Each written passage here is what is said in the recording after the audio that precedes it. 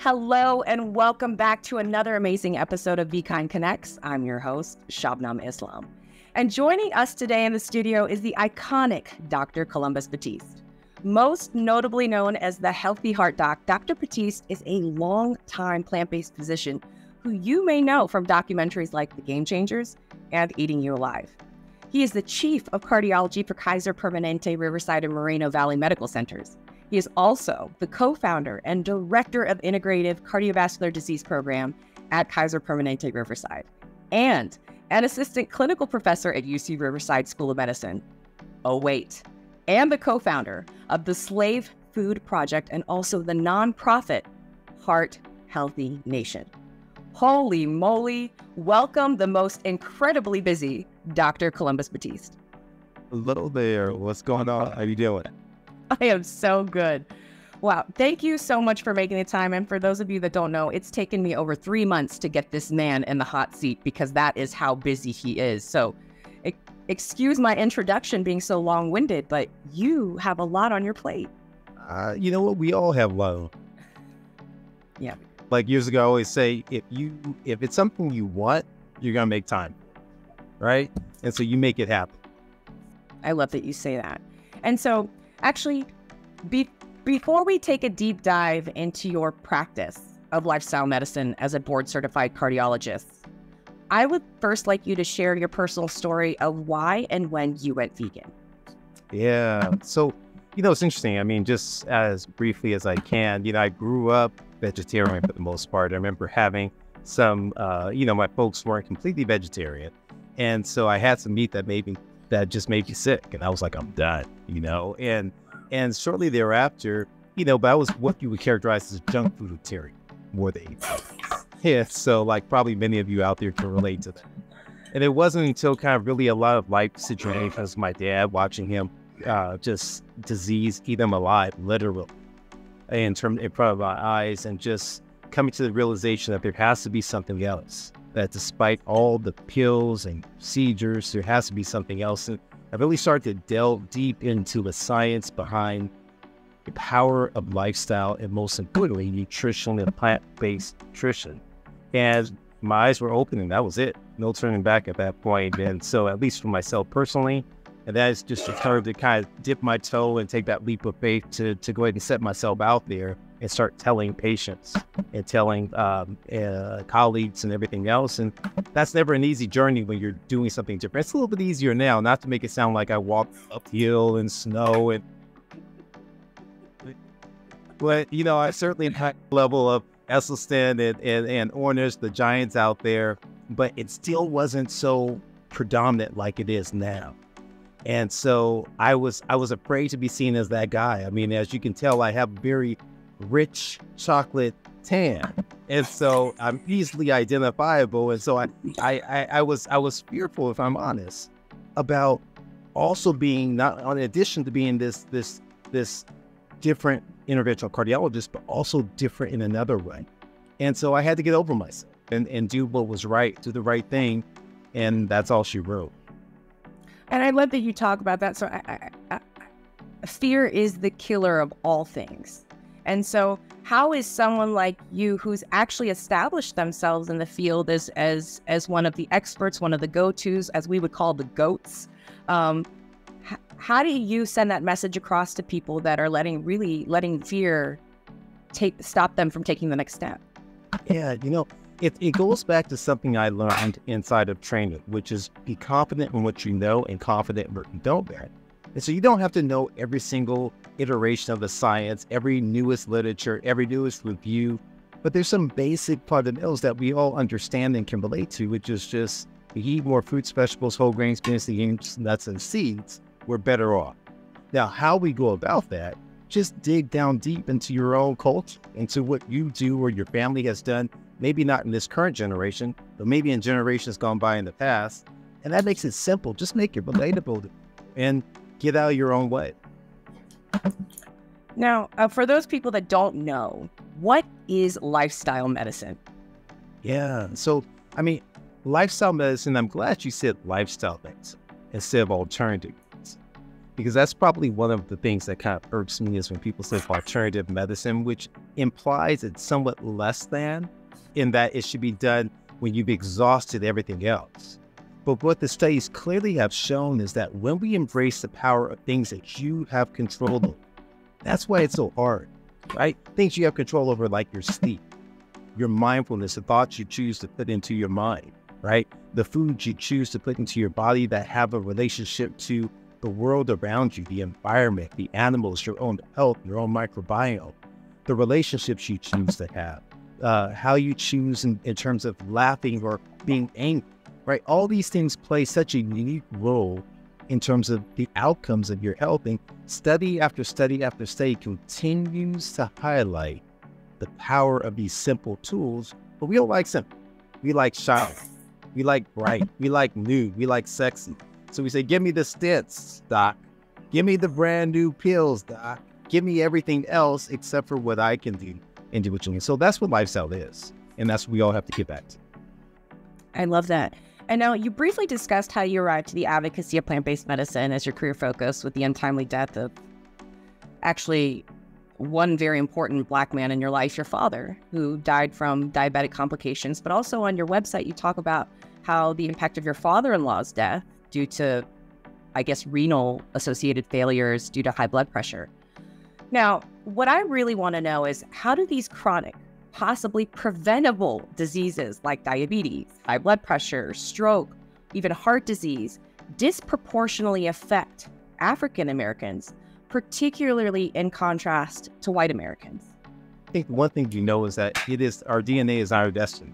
This is not because of some genetic malformation.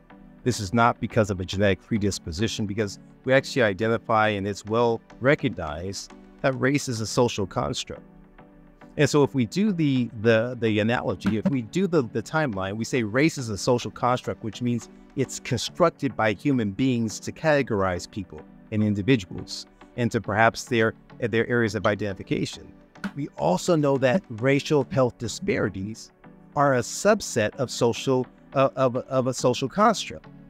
And so when we look at disparities and we look at uh, zip codes of where individuals live that historically have a level of, of redlining, of this, this demarcation, the social construct, when we look at access to healthful foods that has this historical perspective of once again being a social construct and, and that dovetails into finances, dovetails into education, right? We want we could that's a whole different subject for a different day. But what happens as a result is we look that each of them plays a role in terms of the health outcomes of groups of individuals.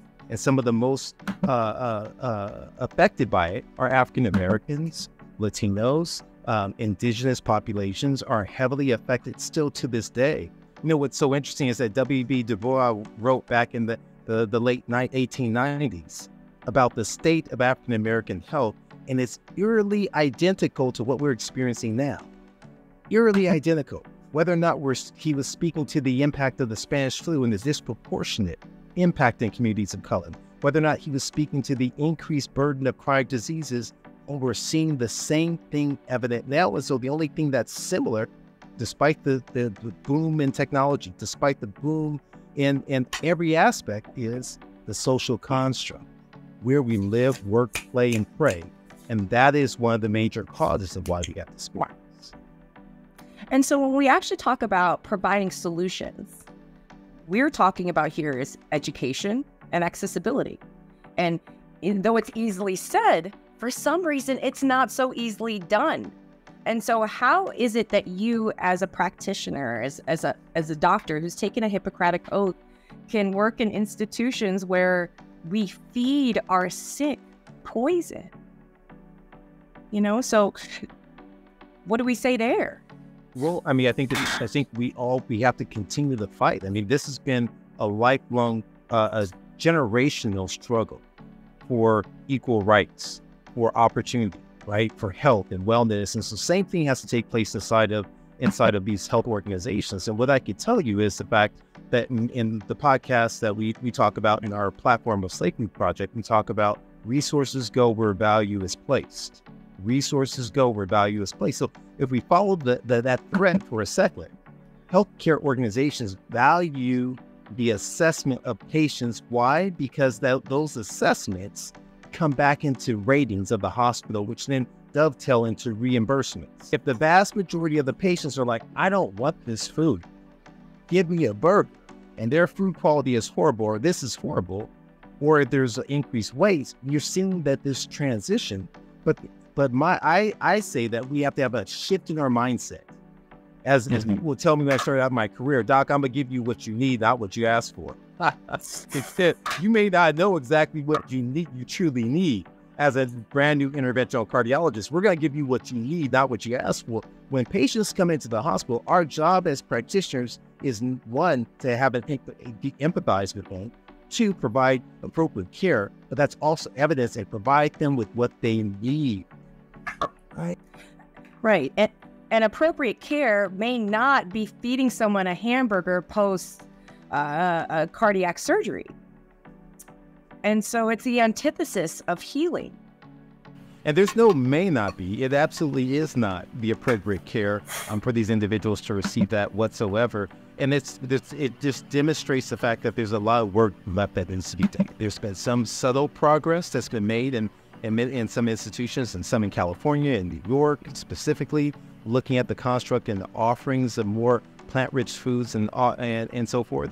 But this needs to be more pervasive. It needs to be more uniform and the standard as opposed to the exception. And we absolutely need governmental intervention, policy intervention to change the status quo, making it greener by default, um, primarily. And I'm, you know, we're so lucky to have physicians like you that that that do think this way. Um, but I do want to touch up briefly on what you were talking about the slave food project because I don't think enough people know about it, and maybe the name may may deter someone from seeing it. But I think it is so amazing what you're talking about here. So I'd love for you to share what viewers can expect to find. Yeah, you know, I mean, the, the name is definitely controversial and it's something jumped out there actually. It's really what, what they characterize as a double entendre. Yes, we, I mean, I'm a history lover. I think in a different light, I live in history. It's how much I'm history. And understanding is why uh, things exist and how we, we reach to this point. But nevertheless, so slave was a double entendre. Yes, it goes to the historical aspect and the impact of, of the enslaved. And when we look at the enslaved and specifically addressing the African American community, that we think oftentimes of the reflection of, of soul food. We think of all these things and people say, well, this is my culture, this is my heritage. And so we outline really the effect of how our eating habits were formed throughout the period of time from the enslavement through the Great Migration to even in terms of civil rights and, in modern day soul, right? So we describe this journey, how that's actually not your heritage, how the heritage goes back to the roots in terms of Africa or in terms of other groups. We look at the indigenous, the original uh, diet of where they, they arise from. And so as we craft this story of how things were altered and how you were given the reference, the things that the uh, the all the slave masters didn't want at that point in time, and then you add you you advance that over to modern times, right? To modern times that now we're given essentially the same type of foods in the form of processed junk and discarded that many of the people who run these these companies they won't even allow their own lips to touch. They won't drink the sodas. They won't eat the fast food. And we look at how these our cities have been constructed in terms of being crucibles of conflict, in terms of stress, but we also look at the level of nutritional stress that's in that's there from the just the placement of the fast food. So when the civil rights uh, uh, uh, uh era began, you had disruption of cities. That Nixon and Small Business Association loans came in and they revitalized cities, which is wonderful. What they did was they squeezed out grocery stores brought in liquor stores, brought in fast food places, having government subsidized foods that led to death and demise of people who were in closest proximity to, which studies have continually validated. When we look at this along with the, the, the subsidies for individuals who are who are financially impaired and rely upon government for subsidies, all these things play a role. And so we talk about this, and I'll, I'll end it with this. I remember when I began my journey. I told you that I junk stereo. I'm I'm at the grocery store, just like everybody else. I got my vegetables, I had my Swiss chard, I had everything just I was rolling, right? I get to I get to the checking count, checkout line, and of course I choose the wrong line, like everybody else. And I'm there. And so everything's just calling to me. The candy bars are calling to. They're like Columbus. hey, what you doing? And I look, I'm like, it's talking to me. Last minute, I just grab her and put it on the conveyor on the belt, right? And I look up like nobody's seeing me. I'm I'm I'm a grown man, but I'm still looking like nobody's seeing me. The checkout clerk says to me, I'll never forget these words. Man, I thought you were the healthiest person I'd ever seen until because you were just like the rest of us. Addicted, enslaved. Enslaved means I you know, do not want to do this, but somehow I'm chained to these foods. They continue the attachment despite understanding having full knowledge of the negative impact it will have on my body, my health, and my future. That whether or not it's for a person who's, who's trying to get off of meat, the impact on the environment, on animals, and we begin to see all this that despite this, I'm still enslaved based upon the, the construct, the way that it's been packaged and put together, the layers from psychology in terms of the advertisement, all the way down to the refinement of the chemicals for the, the, the bliss that's there. And I realize that we're all still enslaved all of us, whether our color, our gender, our race, our creed, any of these things that we all are, and that we need to break this cycle. We need to build and change, and there's a better way for us all. That that's wow, that is deep. For for you guys that don't know that have not checked out the Slave Project, shame on you. It is moderated by his lovely wife and they have a wonderful guest like Dr. Milton Mills and Tracye McQuirter. I have taken a deep dive into the Slave Project, and I I am obsessed. Um, and so we need more work like that done by people like you. And so thank you for sharing that with us. Um, but what you know, what I really love is I wanted to know was why was the creation of Healthy Heart Nation, that nonprofit, so important for you? Like, what more did you seek to provide the community through this organization that you actually couldn't do with Kaiser Permanente or through the academic institution in which you teach? Yeah. Well, you know, I mean, when, when we look at, at the aspects of health, it extends beyond this. One thing, one thing and let me let me take a step back. So I remember in practice, I had a patient where uh, she was what we would now call a frontline worker. That that, that terminology she was not African American, had a young family, had a heart attack recommend medications for her cardiac rehab, a lifestyle. She couldn't make the appointments. Why? Because she had to work. And so continually she had repeated heart attacks before she passed away. And I'm looking there just troubled over the layers of what we could not provide, just not available to us. And so in that moment, I began to kind of think, you know, we need more. We need to look at, dive into um, a way in which we can approach this. And so thankfully, I didn't want to get involved in the board desk once I formed Healthy Heart Nation. But my wife and the board and the people we selected for the board, they said, you know what, Columbus, listen, you're always talking about where you live, work, play, and pray. We need to, to ad- address this holistic. We need to not just address the nutrition and the health, but also the health of the that this the, the community health of an individual is just a reflection of the health of the community. So we need to address the education piece. We need to address the business piece or financial. We need to address the, the justice aspect. We need to, to address in terms of community services as a whole on top of the health. And so that was the premise and that was the foundation with the goal to provide scholarships to students trying to seek uh, uh, higher education mentorship, trying to provide educational series for individuals, trying to put on, we're, you know, thankfully I'm excited. We're about to put on our first conference called the Health Conference, Health Equity Lifestyle Project. It will take place in Huntsville, Alabama, right? In the home of historically black colleges and universities, the heart attack belt of the South, right? And the goal is to really emphasize the power of nutrition for transforming everything from maternal infant mortality to diabetes to cardiovascular health to Alzheimer's and mental health as a whole.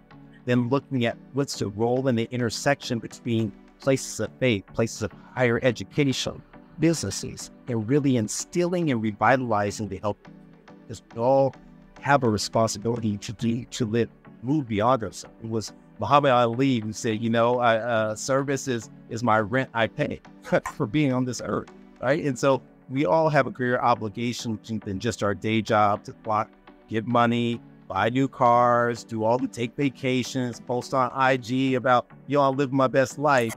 I love that. And I, I hope that that inspires people here to say, you know, to see and do more. Um, there's always, we can always find the excuse that there's just not enough time. But then again, that's the choice we make, right? And you're you're making some different choices, and, and we really appreciate that. I sorry, I, I have to say, right? So it's not, it doesn't get easy. So we started out, we started something called a pressure where we go into barbershops and we're putting blood pressure machines at barbershops, beauty salons, and churches. And so we're the cube of might. And I'll tell you to those of you saying like, "Oh, I don't have enough time." I'm busy, right? I'm. I to me when I say I'm busy, but like my the wife doesn't let me let me say. That. So on the weekends when I rest, guess where I'm at? A barbershop. Yeah. Doing blood pressure screens, talking to people about their nutrition, collaborating with Diet ID to, to assess their blood, their diet nutrition on the spot and giving them advice for free. I mean, I'm not getting paid for that, but that's just, it's an act of service that's so important. And I will tell you that when I meet individuals, like individual I met this past week, two individuals, one whose blood pressure was 180 over 100, round that we sent to the emergency room, or another individual who had a significant health challenge after you identified this blood pressure has made changes towards moving towards vegan uh, uh, lifestyle and eating. That's rewarding. So even though I'm giving of myself, I'm actually receiving way more than I give when I recognize the fact that I can have a domino effect not only in this individual's life, the life of those that they're surrounded by. And so that's what I would I would pose to people is that yes, you're busy, but studies have shown that when you volunteer, that when you give of yourself, you're going to give back way more than you're giving. And it, it extends itself into longevity of years lived, lower blood pressure, improved cardiovascular health. So you actually are empowering yourself. It's actually selfish when you give of yourself. That's true. Plenty of research that goes to defend servant leader leadership and its many benefits. Um, and so that that it, it exceeds educational leadership, right? We're talking about having true health impacts, not just for the communities you reach, but for individuals themselves. And so that's beautiful. I, I love that you brought that up. Do more people, basically, is what he's saying.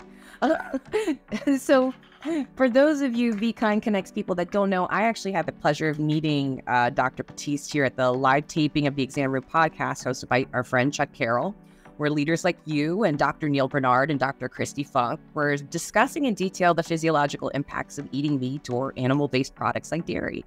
But what we really didn't tap into too much there was what about those people that advocate for a lifestyle of moderation? Like, what are the cumulative effects of engaging in poor lifestyle behaviors, but in moderation? I, I think I think I analogize it simple way I bring it up to people is that I prescribe medications, still prescribe pills. So there's a place and a time for prevent medications. But here's the thing what I realized early on. I can give one individual a small amount and they have a horrific response. I can give another person a large amount and their response doesn't take place till later on, if they have it at all. The same thing happens with these foods. We eat the foods that have been continually shown to be detrimental. that yes, you may not have an immediate response, but trust me, this response is it's laying its foothold beneath the surface before it manifests itself. It reminds me of when I was too too smart for my own self, and I, I left college, drove from uh, back east back to the west coast, and I took my car into the mechanic, and they said, you know, you shouldn't put that car on the road. I said, you think I just born yesterday? This car's been running around fine. I'm good. I got on that road. I started driving past all these states, and all of a sudden the engine started. Mm. now the mechanic could see that when I was going to break down, he told me he's of wear and tear that based upon what I was doing, it was going to break down. What I think the key that people have to, to recognize when you embrace this idea and concept of moderation, moderation does truly kill. Uh, and, and and you have to really wage every day. Is this is this adding to my life? Is it part of what my goal is? If my plan is if my impression is I want to live a healthful life, my plan every day is I have to choose what I eat wise. I have to choose to move more than I sit. I have to I have to work out inside that 114 degree heat and talk about it like it's a sauna, right? Yeah. he's so funny. He's giving me he's giving me a hard time because I just moved to Vegas and I'm missing my beach workouts on the daily. So my spoiled my spoiled accessibility life there. But um you're right. It, it is a matter of choice and um and every choice has a cost. You know, you just want to know whether it's short term or long term. And so I like that we're touching on this because you're a physician who specializes in interventional cardiology. And so I'd like you to tell our viewers what really are the real costs associated for eating an animal based diet compared to a plant based diet. Like, for example, uh, like what example, what type of long term care is required after you have like an angioplasty? Um, if these clients don't change their lifestyle, are they looking at another surgery down the road? Yeah, so I think I think what we know first and foremost that there's roughly 700 to 800,000 heart attacks that happen every single and of that, about 30 to 35% are from a second, third, or fourth heart. That means that, that over 30%, a third, are happening from a second, third. So you look at this, and here's the key the vast majority are silent heart attacks. You never know you have. So when our special Indiana Jones is out right now, so he's an archaeologist. You think back in the day, we have our archaeologists of the healthcare field are called pathologists. And when pathologists go in and they uncover and explore and figure out exactly what happens in an individual, oftentimes they find uh, heart attacks that healed upon healed heart attacks before one that what I can tell you is that every day these decisions that we make by having an animal-based diet that increases our inflammation, that increases our risk in terms of, of, of, of having an adverse event. And there's direct correlation that we've seen continually. It exposes you, it places you at risk for heart attack. Now, does that mean it's got to be 100% of people? No. You don't know if you're going to be part of the, the 95% that may get it or the 5% who won't. Are you going to be that 110 year old who's eating hot dogs and smoking cigarettes? Or are you going to be part of that 30 year old who's suffering with a heart attack and the 50 year old? You know, for those of us who've been in education a long time, we understand there's a Gaussian Bell distribution. 95% of us are smack dab. Everything we do has profound consequences. 2.5% on either way. It's have early onset of events or 2.5% on the other end. Hey, I can do whatever I want. And somehow I escape major uh, catastrophe. We cannot base our decisions off that 2.5% that may be live and cause harm to the environment, animals, and their own health. And so let's let's talk about those standard deviations or what we call those outliers, right? What percentage of your clients, let's just put this in ballpark, are plant based that have needed medical intervention, like a cardiovascular kind of repair, uh, compared to those eat meat, eating meat centric diets patients? Yeah, so that's a great question. So I have not met someone who is whole food plant based who comes in with an acute heart attack and requires uh, stenting. I have met individuals who have made the transition after an event into eating healthfully and who perhaps need to have still additional procedures or medications done as their, their, their body has sustained injury from prior years. I have met individuals who've eaten uh, a version of the standard American diet, which is unhelpful, like I talked about, a junk vegetarian who required. But when those who've eaten uh, aggressively a whole plant based diet without a history of events, I have seen nothing but success for those individuals clinic and have not sustained events. Now, there's everyone's going to be different. And so, granted, I'm not I'm not making a broad sweeping statement that it's impossible, but I'm saying your odds are improved astronomical. And also, when we think about people um, in terms of BMI or obesity factors that are needing assistance, like angioplasties or heart uh, bypass surgeries, uh, we have to think that there is a correlation or relationship between that and obesity. So when we start looking at this in a whole, like what impacts does obesity actually have on genes and the possible inheritance of these genes that maybe genetically predispose them to obesity? It, it, starts to get deep. It starts to get deep, and we're we're seeing that. We know we're learning more and more about the epigenome. And so, what was that around 1990 when Randy Jirtle out of I think it was Duke discovered the epigenes and, and so forth, dealing with agouti mice. And we've seen since this field has grown exponentially, we're learning that every aspect plays a role. But the key thing we see too as well is we see that our epigenes play, uh, excuse me, obesity plays a substantial role even in destabilization of, of plaques in the coronary arteries that can lead to heart attacks. That can increase the risk of sudden death. It increases the risk of, of irregular heartbeats called fibrillation. It increases the risk as well of complications if, God forbid, you need to have some sort of procedure. So we, so we see all of these things, and and and and and that tells us a, a level of concern that when we're having animal products, we're having the increase in insulin like growth hormone factor and all these other aspects are stimulating this excessive growth because the hormones are injected to animals that then come over and transfer to us. We're seeing this vicious cycle of disease, and I'm not even mentioning the microbiome to even go into that.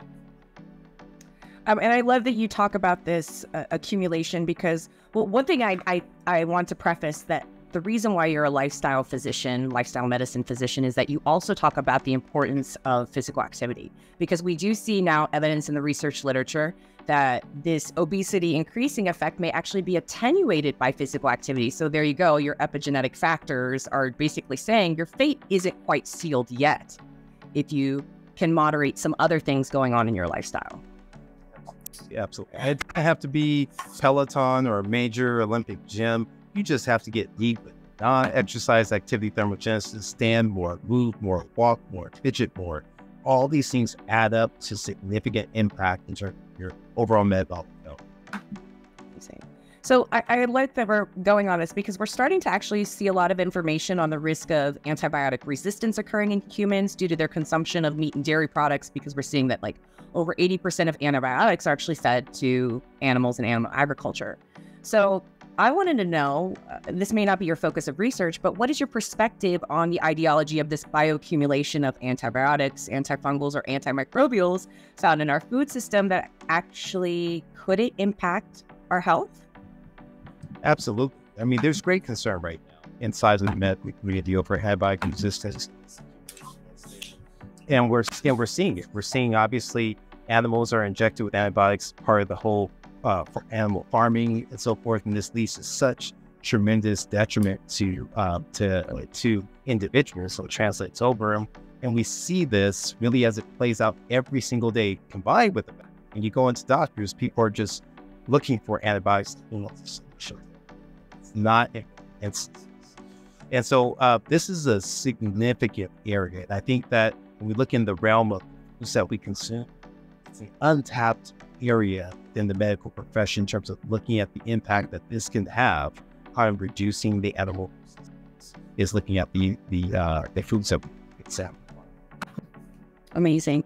And so considering the ideology that the the impacts that obesity has on gene inheritance, do you think that antibiotic resistance actually has the same capability? But to trigger obesity? Not trigger obesity, but having antibiotic resistance actually transferred to the next generation. Yeah, I, I would not, I have not seen studies on that, but it would not surprise at all as we, as we learn more and more about the epigenome. You know, I've, I've been amazed at some of the things that we find are, are inheritable based on epigenes. And so it not surprise me uh, at all. And then as well, we understand that culturally, in terms of even if it's not something that's genetically passed on, we understand that the environments, most of the, the, the, issues that we get are from the cookbook, the environment, the lifestyle, the eating habits. And so we look at the impact of the microbiome and deficiencies, the lack of, of variability inside that microbiome that gets passed along because eating habits get passed. And so we have this impact and this susceptibility.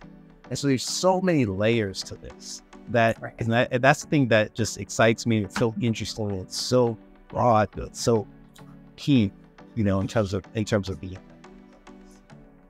um, I just have two more questions, and I'm gonna let you go because you're just so uh, you're so wonderful to converse with. But lately, we've seen a rise or an approval of cell-based meat. We see the approval in Singapore, and then Good Meat and Upside Foods and Good Meat were certified for production sale in the United States.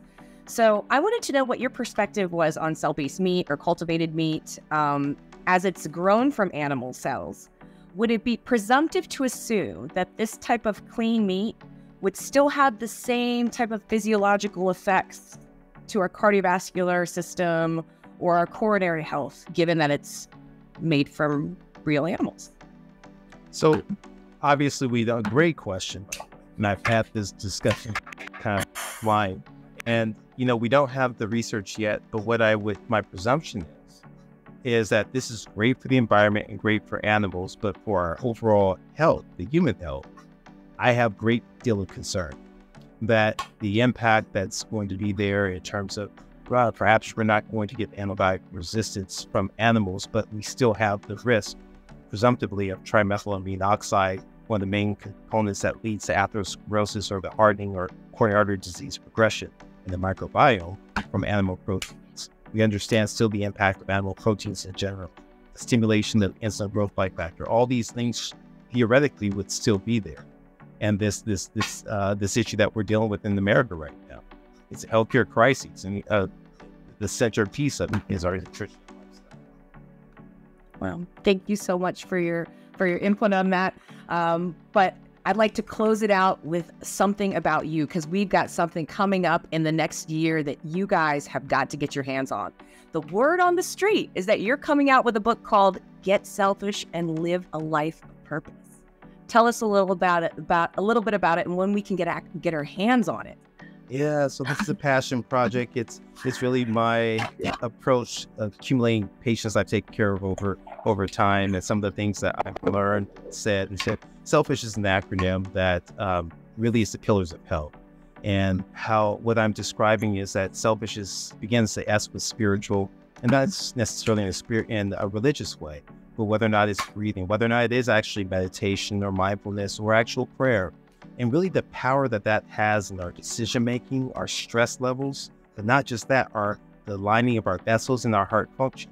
So in this particular series, I'm bringing out how each of these pillars impacts not only stress, it impacts our decision making, it impacts our overall health, but specifically our heart health, to really heal the stress and broken heart. Mm-hmm. So we move from spiritual to exercise. It goes without saying. We to love. You say, well, love, doc. And you're a heart doc, you're saying love? I'm like, no, no, no. It's because anyone who's loved anything, anybody, or at all, they understand that love is not a noun, it's a verb. Love takes action. Love includes uh, forgiveness. Uh, love is, is gratitude.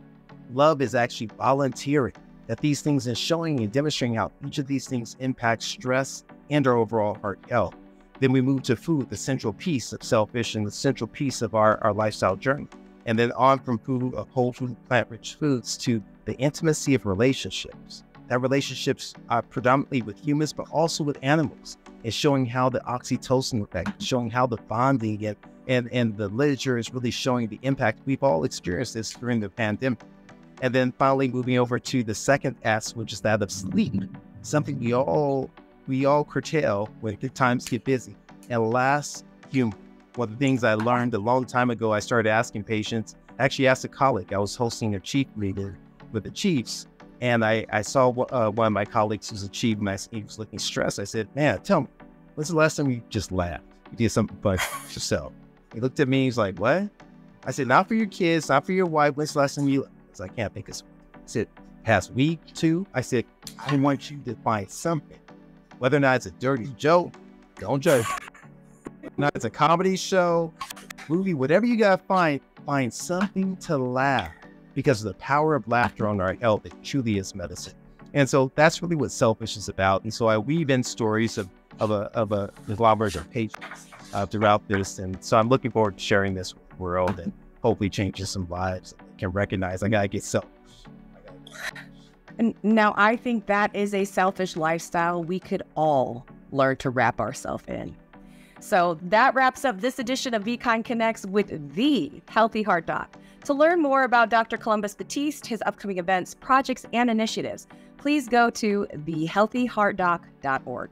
And to watch this episode and many more, check out www.vkindconnects.com, and I'll see you next time.